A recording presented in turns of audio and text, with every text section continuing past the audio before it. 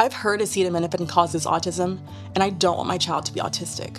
We don't know that acetaminophen causes autism. That is a deceptive statement that we have to be wary of. Acetaminophen is tested in a safe way to treat pain and fever in children with little side effects when used at appropriate doses.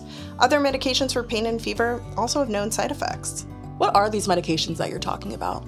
There are two other types of medication we can use for pain. Over the counter options include non steroidal anti inflammatory drugs like ibuprofen, and these can be great for pain and fever.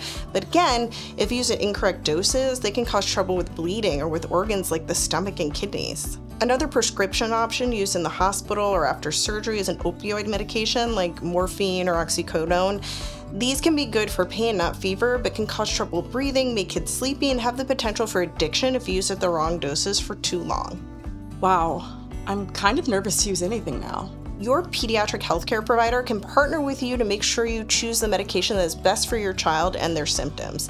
Pain and fever medications are not always needed. How do I know what the recommended dosing is?